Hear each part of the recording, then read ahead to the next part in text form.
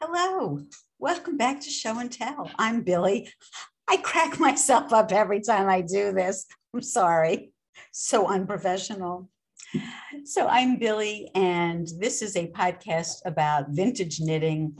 Today, I have a guest who is, I'm going to go out on a limb and say that she is an expert on vintage knitting. She does historical knitting. Well, I think she doesn't knit, but we're going to get more information from Sandy when she joins us in just a moment. I understand she's had a big thunderstorm over there in the UK, but hopefully she'll be joining us shortly. Um, before she does, I'll give you a heads up. She warned me that she speaks very quickly. I tend to be a little slower, but not to worry. If you're not accustomed to attuning your ear to the British version of the English language, you will find uh, on the bar below a little gear that you can pop up and you can get subtitles. So you'll be able to read the subtitles. You can also slow down the timing. So if you want to do it at half time or quarter time, you can. Just a little pointer. While we're waiting for Sandy, let me remind you that you can register for upcoming yarn auctions by going to the link that I'll put on the screen as well as in the show notes below. Or I could also give you a little update on my genie. Here's my ribbing, very deep ribbing for 1940s sweater. And you can see I've made quite a bit of progress in the last several weeks. I'm really pushing to knit a couple more of these bands. I think I have this dark one, a light one, and one more dark one before I can cut my steeks. So I'm coming down the home stretch. Here's how the top looks. It's quite a bit narrower than the bottom because I've been decreasing in anticipation of opening up the neck steek and the armholes. Um, if you've watched my program before, you'll know that this is my first time out with steeking, so I'm a little bit nervous about it. I'm going to buy Fray Check as suggested by Nancy, who's been a participant in the knit along. And I'm probably going to dig out a vintage crochet hook. I have two crochet hooks from the year one. One of them is very thin and I keep it locked away because it's very rarely used, but I think I'll be able to do the crochet edge. Um, there are a couple of pros who have suggested that method. So I'll be back with my group later in the month of October to discuss our uh, collective progress on our genies. So I promise to be right back with Sandy and here she is, all the way from the UK. I'm glad that you were able to endure whatever weather storm you were having and to join us today. So, before we get started talking about your historical knitting and the business that you have, I'm going to ask you the question I ask all of my guests. Please tell us about the town where you live, what country, and something that's there that if we were to visit, we would not want to miss and that we wouldn't find in some stupid tourist guidebook. Okay. So I'm in a town called Redditch in England. Um, we're right in the middle of the country. We're just basically off all the motorways all converge in the middle. That's where we are. Um, we're sort of a little bit near Stratford, a little bit near Birmingham. A lot of people have heard of those, so but less so about Redditch. We um, if you came here, the bit that you would see from a tourist point of view is probably the only thing we've really got going for. It's a very, very small town. Um, and we're it's famous for making knitted needles and uh, sewing needles and fish hooks. So that industry came up in Victorian times. We've got a we've got what's called Forge Mill Museum, and that's set up just down the road and it shows you all the how you make needles and you can go in there on school days and things so there's lots of in there to be done um, i am going to be on the next plane that just sounds like yeah. the, next to the guy who told me about the mother of pearl button factory that's yeah. down the road from him I, I put this in the A plus category of like It's must nice not place. miss. Wow. And it's it's got the working watermill still and Aw. still all working. And that's in the grounds of an abbey. Um the Cistercian Abbey, I think it is. I think it was Cistercian. But basically it was an abbey that was um razed to the ground by Henry VIII in 1500 and whatever. So there's the ruins of the abbey and so the town's been here since that time but it was renovated it's a new town it was renovated in the 60s into a, a grey concrete But the museum and knitting needles. the museum's still there and we've still got some of the old town and um, we're really close um, as i was saying we're really close to the, the tudor side of things and the historical side of things right on our doorstep so it's lovely Okay, so let's get into what exactly it is that you do.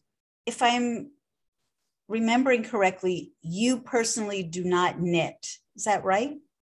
i can knit I can But you have, but you have Well, a business that involves knitting and just tell us about that. okay so please. I'm better at crochet than I am knitting, but I can knit.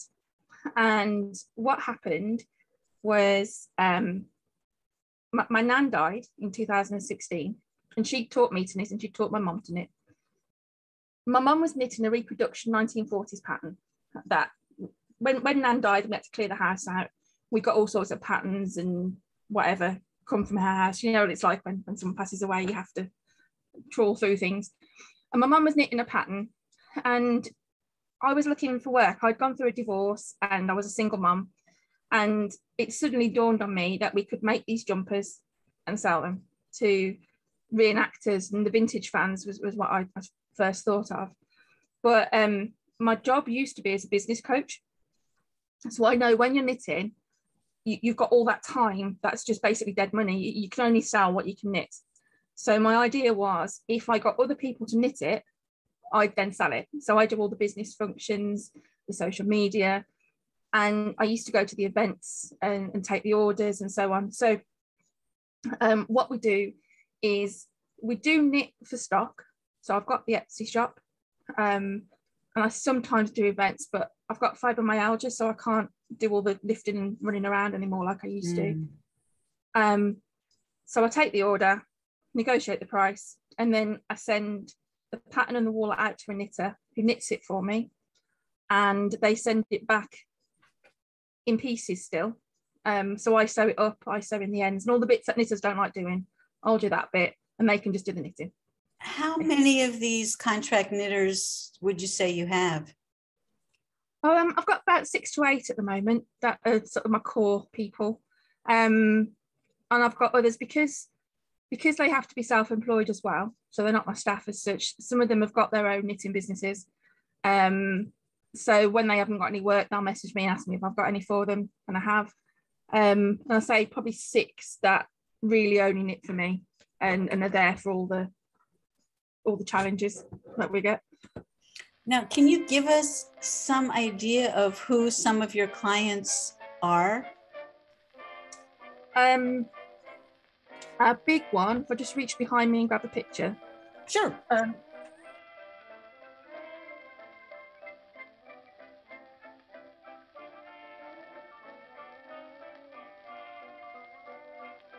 you see that okay? Proud to supply Christopher Wren. So that's the character in the mousetrap. hmm So um, London's longest running West End show. Um, we've knitted for that for, well, since, since 2017, we've knitted for that. So every time there's a cast change, we they need a bigger sweater. and also I've forgotten the name of the lady in it. There's a lady in it, a lady in it as well who wears um, a short knitted jacket, and we sometimes knit that for them as well. Do that one. Now, I know that Um, you do things in the States as well, right? yeah, yeah. Um, we, I know I've supplied Hollywood because the the address was a studios in Hollywood. It's going to be on a TV series, um, but I don't know what the TV series is.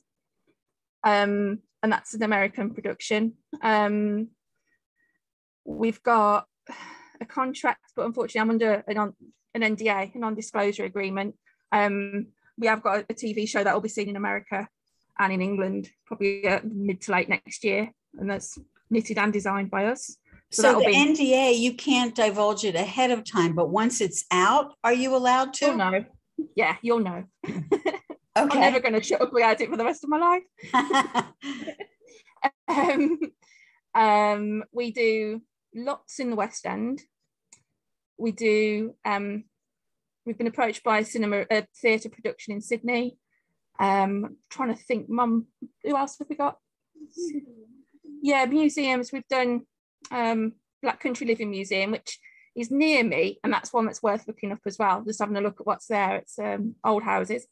Um, we've done the Space Centre had us reproduce um, a space helmet, well, it was somebody working with the Space Centre, a space helmet production, um, I can't get my words out, designed in the 1940s. It wouldn't have been very effective in space, but they weren't in space at that time. So it's basically an adapted flying helmet. Um, Gilbert White Museum, which was um, it's all to do with Scott of the Antarctic and it's the Antarctic explorations.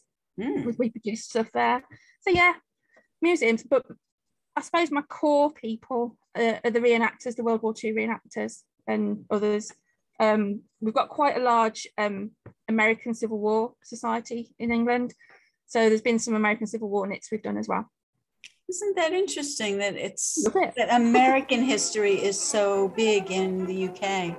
Yeah. So tell us about the two garments that are on your mannequin.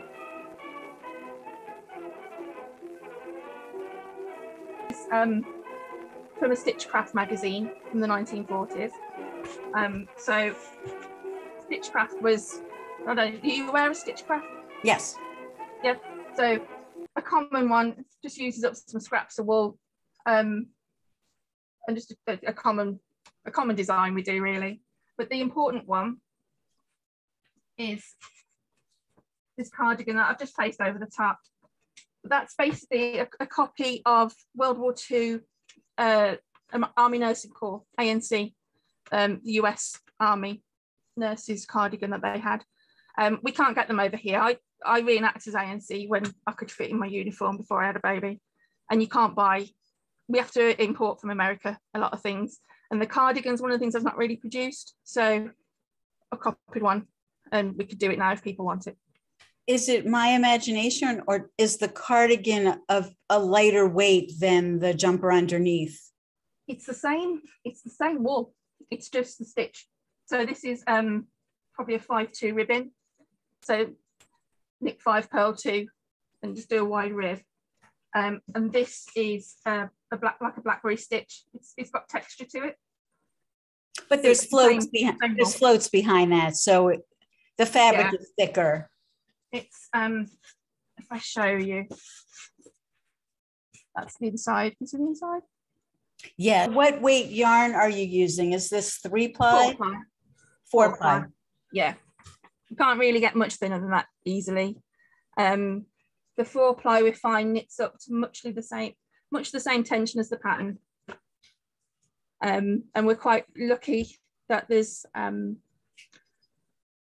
it's fairly reasonably priced. I've found in the past when I've worked with people that live abroad and they want to supply wool, they pay an awful lot of money for wool, whereas over here, well, pure wool's probably about I pay about three pound for 50 grams over here. So and I think it's a bit cheaper over here, but depends what you get. Depends on the quality. If it's hand spun, you know, you know the old thing. But yeah. Mm-hmm. Yeah, we're uh, jonesing to travel again so that we can come and buy some of that Shetland wool. oh, I'd love, yeah, I'd love to direct from the source. Shetland, go to Shetland to buy it. It's worth it. My dad's wife was a nurse in the army, but she was army. She wasn't the division that you're describing. Mm-hmm. I don't know if she would have had a sweater like that. If she was women's army corps, it would have been really similar. Yeah, there's not much difference. There are differences, but um, a lot of the sweaters would have been private purchase anyway or privately made. Mm. So it's one of those things with reenactment, you can never say people didn't do it because if somebody gave you a jumper, you're not going to not wear it if you're cold, are you? so. Well, she was in the desert. She where it was 120 degrees. So I doubt night that time, maybe. she was cold. But sometimes when she was on R and R, she might have needed a sweater. I know she went to France, she went to Germany. This jumper. So this is one that's not long come back to me. And if I just flip it inside out for you, you can see how the knitters work. So um, this one will have been knitted in the round, I think. Yeah, knitted in the round, that one. So they send it me back with all these to sew in, which I love. I love sewing ends in. I'll do it for ages watching the TV. So Why do they have all of those long strands? This, wow. That's where they started a new color. That's the start of the new colour. Yeah. So they So- just left you plenty to weave in. They leave me loath to leave it. I- They haven't got to worry about um, moving it up or anything like that. I just want them to just knit it because what we do do is, can you see the inside? There, we twist every stitch so that um, when somebody puts it on, they can't trap their fingers or pull it or ruin the jumper. So we get them to work every stitch like that Wow. rather than putting it across, which they love me for. Does that end up taking twice as long? depends on the knitter. Um, I I quote a customer six months for one of these, but realistically, it's probably two to three months knitting it, and me getting around to sewing the ends in. We've got it in different colourways, and sometimes a different colourway pulls it up. We want to put the different colourway up. Yes, I'd like to see other colorways. Why not? So we've got.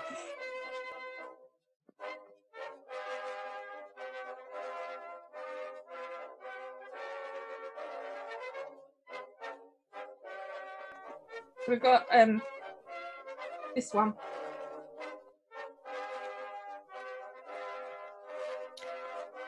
I can see more detail here and it looks it's so interesting to see the same sweater two different colorways because they look like a completely different Yeah. design. I think the one behind me is the same. Yeah, this one's the same as well. Great. Here you can really see the X's and the O's. That's it. So I can I can send you some stills. So I can, we've done this one so many times. It's um from the 1920s, and it's based off um what you'd call him Edward VIII, Duke of Wales.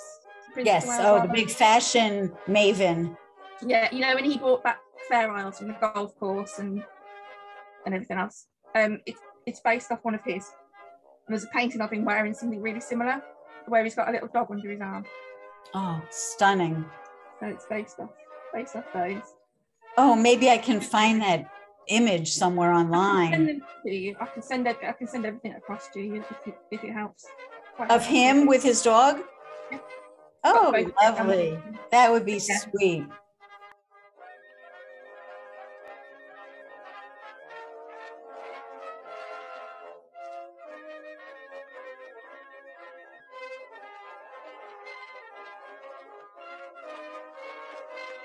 This is we've done this with a white background so you can really see the detail.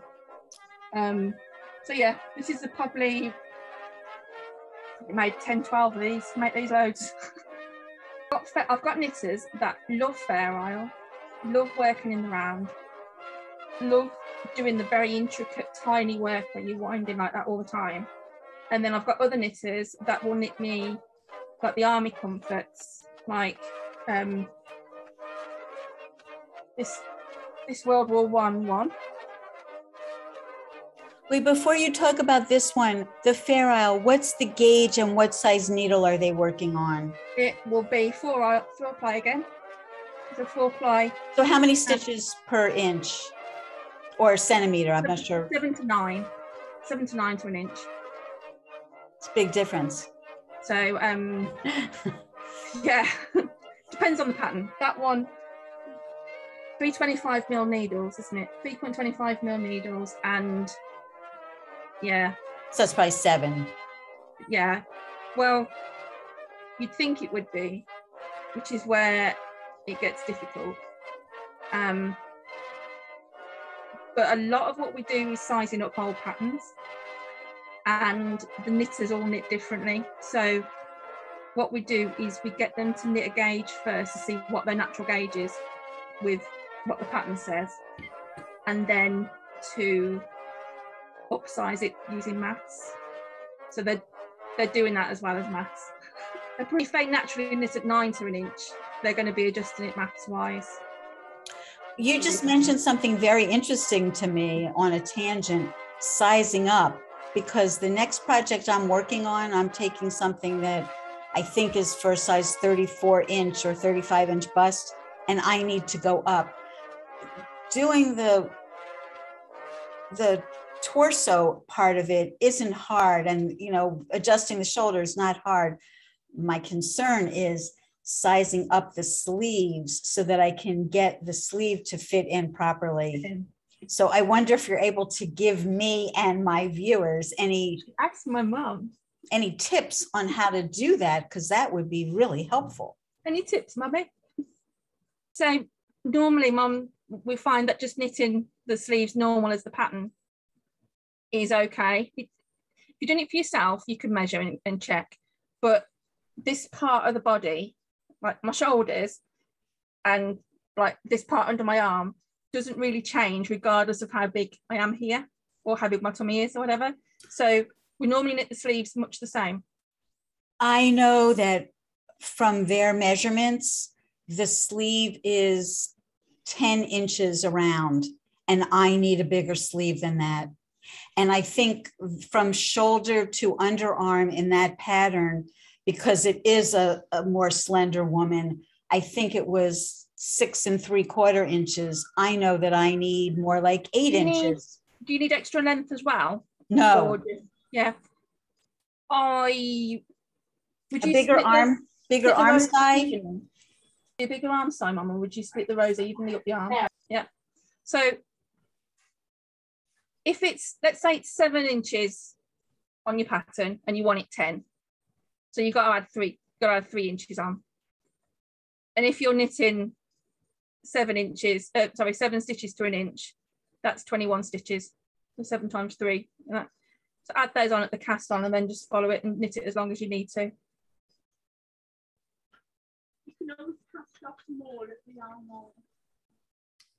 but it's the circumference of the arm side. So it's not, I think it's not just a matter of adding three inches. I, I think it has to be the right contour. I'm probably going to end up playing with it. And there is an element of playing. And what I find I do a lot with the sewing up is um, stretching one piece against another. So if we want the if we want the sleeves to puff up, I'll stretch the main body as I sew it up. And then so when it contracts again, it brings it in. And if mm. if I've got extra sewing to lose, if I've got extra pieces to lose under here, um, I'll sort of pull it down. Yeah, to make it fit it where I need to. I think we call it bodging. I don't know if bodging is an American term you use, but we bodge it yes, fudge. I, I, studied mathematics and we talked about a fudge factor. You know, if you needed yeah. to make something work out, you could just add in a little fudge factor. Yeah. This particular sweater I'm talking about, the top of the sleeve has an interesting construction. It steps in and then it yeah. goes up like a little uh, square at the top. And then fold it. The sides will be sewn together. And I've never seen this before the yarn is held double just for that upper little square. So I oh, think it'll make like a thicker oh, shoulder padding. Sounds interesting. Yeah. So you'll have to watch my program and see how I'm progressing with that. That's in the future. That's next month. That's not happening until I finish my Fair Isle. My viewers are probably getting sick of seeing this, but this oh, that, that's like a Edward the Eighth one as well, isn't it? That's not the same pattern. No, it's. I don't think it's the same pattern. These change the hexagons, and then it's the eight pointed stars, and oh, then yeah. hexagon. They're all they're all different. But this is 11 and a half stitches to the inch. Oh wow! So what's that like? Three millimeters. On a US one, no, it's smaller than three millimeters. I think it's two point two five, if I'm not mistaken. US one. Wow. So this has taken me A close, life's work. close to four months.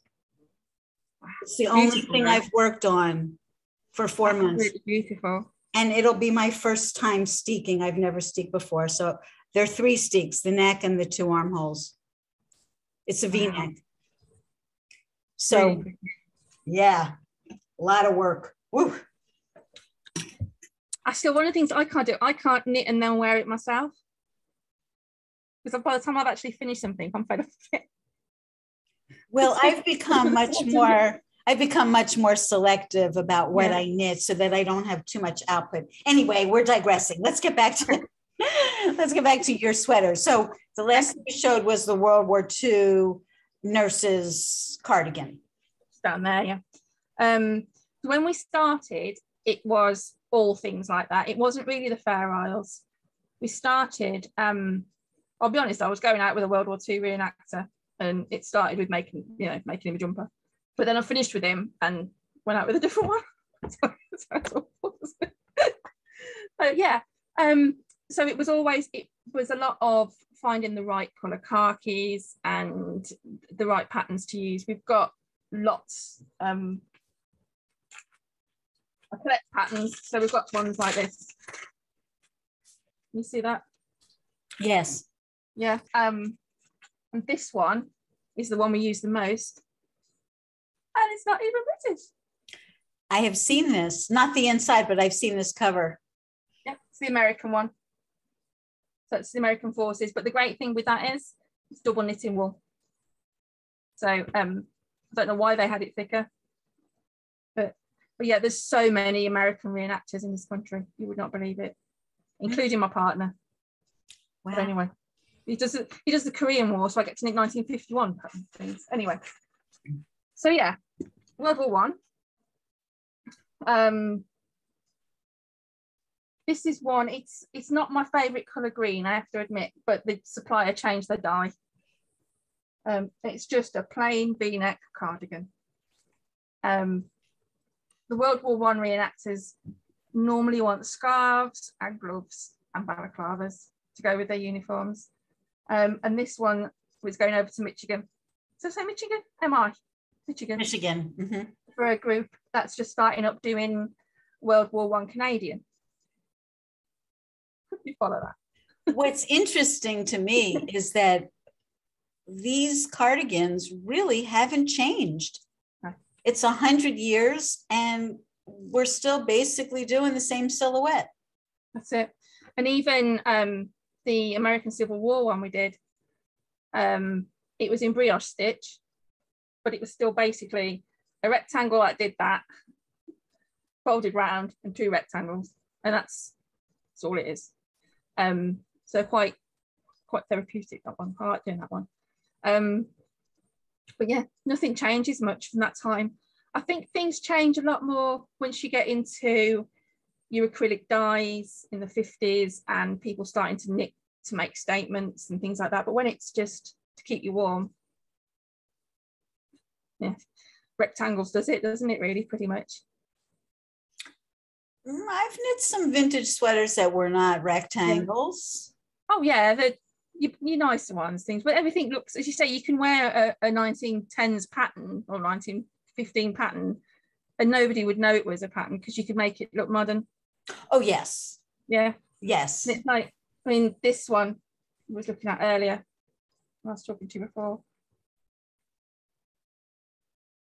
That one. That's going to go on Etsy. And I can see that on, we have Christmas jumper day. Do you remember they have a Christmas jumper day where people in, in offices and things um, raise money for, I can't remember which charity is, but most most workforces promote this Christmas jumper day. And Christmas jumpers are a big thing over here, massive thing. So I Here we think that have will, like, there's ugly sweater, maybe it's an ugly sweater sweater, day where yeah. people bring out not just Christmas jumpers, but they bring out like the ugliest thing Yeah. that they can find, you know, that it's brown and green with mustard or uh, I, I don't know, some ugly design on it. People come up with all kinds of things. Yeah. So yeah, the, I'm trying to get some things on Etsy ready for Christmas, but we've had some quite big orders coming, so they're not getting made. So that might be the only Christmas jumper we have this year. For a medieval reenactor, Mm. a, I do medieval myself as well, where we do 1390. So we're not at war, basically. England didn't, didn't England didn't fight a war in 1390. Little fact for you. Um, this is what's called a Monmouth cap. If you can see that, or sometimes an acorn cap, and it's basically it's knit on four pins like a bobble hat. I did do this one, and you um have to pick the hem back up, except I didn't do it all the way around. You pick the hem back up, you fold it back onto your needles, and then knit it just like a just like a bobble hat.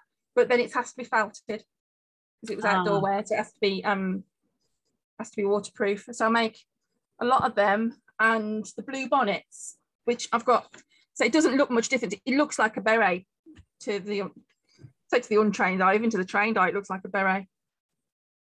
But if you can see that, so that would be for um, Jacobite rebellion in Covent. So basically, we, uh, we've got such a history of wars here that they're always reenacting different wars. And then when they don't, they find some American ones to reenact. But is it always this color, the blue bonnet? always, always blue, always this shade of blue. And it denoted um, in Scotland when in like the 1600s and around that time, depending on which war, but basically that shows that they they belong to a certain army. And you've also got Scottish people came down into England to help during the Civil War in England, um, well, to help to, to, to lend their to lend their support in the English Civil War as well. So a certain group of those would have worn the blue as well. I'll, I can send you all the information if you want and dates and things like that. But basically, blue bonnets. Or do you ever do you ever get requests for hats from the 1920s, 30s, 40s, like the Art Deco period? Um, we d- I've got lots of patterns for them. Um, New? the one that I'd make a lot of is a tam o' shanter. So like the beret, but it comes Mhm. really big out and in, and then with a pom pom on it. Um, the pattern I use for that is from about the 1920s. Uh, to be honest, I use it. It's, off, it's on archive.com, uh, .org, archive.org. From But nothing more like Hollywood, like sophisticated. Never been asked for it. No. The No. thing is, though, um, putting it in blunt blunt terms, I probably would charge too much for it. So there's um, a lot of people making those things. The 1940s is a huge thing over here for reenactment. Um, I did an event at the weekend. To be honest, we, you know, we've been doing them for a while again now, and some of the girls like to dress up very Hollywood and have the hats like at the, at the angle and um, beautiful clothes and things like that. And they will go to, there's a company called Heritage Milliner that makes the hats for your, if I say hobby knitters, I don't mean this in any way, shape or form as an offense, but people who knit then sell and knit then sell themselves, as opposed to me who just knitting farm I've got going on. um, so they were more likely to make them and then price them more reasonably. Whereas for me, I'm looking at all the other costs that I run. And against they've paid me to do it, they could have probably got got it cheaper. I would I wouldn't say no to doing it, but there'd be a waiting time and there'd be a cost. So if people want to find you, you're on Etsy. I want to put your Etsy information into the show notes, so Okay. I'll get that from you. Um, is there anything else that you want people to know, like what shows you're going to be at, or uh, you know, do you want people to find you? Okay. Let's tell them Um, now. Okay, so I'm on, I'm on Instagram and Facebook. Facebook was where we started. Um, I don't have an, a website anymore, so anything that says vintagestitches.com is not relevant anymore. So I don't want to do it. But um, Vintage Stitches History Knitwear, Historical Knitwear is the, the company name. We're on Facebook. We're on. Inst- we're going into we're into winter now here, so we've just done the last show of the season. So, so then we start again in February with um, the Living History in Worcester show. We're not far from Worcester here, um, which is held in Worcester City Centre. The group of us, we're Worcester reenactors, we're all together and we all converge at the start of the season there in whatever era we do. So you'll see English Civil War having a point with American World War II there. Um, and then we start the events. But what I do, I don't, I don't trade at events anymore. Um, but I do tend to post on my social media whether I'm going to be there or not. And people can quite happily talk to me there. You know, I'll I'll taken, I quite often take deliveries rather than posting them and things like that. So I'll always talk to people. Um, quite happy to chat on Messenger and private message on the on Instagram and Facebook as well. Even if it's just an inquiry, people can pick my brains. It doesn't matter. You, you know, in terms of um, commissions, we we basically work off commissions. That's essentially what we do. But nobody's going to get anything this side of Christmas if they haven't already spoken to us. So I think that I've heard you say that you're always looking for knitters. If people always, always looking for knitters, yeah. If people want to knit for you, what's the best way to contact you on your Facebook page? Yeah, yeah Facebook or Instagram. Um, with the knitters, um, there's there's two ways. I prefer to have people that will do the commissions but because I have to post the fab, the woolen things out, they really need to be in the UK because of the postage involved. If people have made something that they think is appropriate to what we sell, I'm quite happy to buy that from them within reason. So like um, one of the ones that I've shown you already, I've bought off somebody already made. However, I will try and sell it for much higher than they've sold it to me for. That's the best way of putting it. I'm not I'm not cheap. I'm I'm fairly cheap compared to what some people charge over here, but um I, I would only buy something if I could make a profit on it.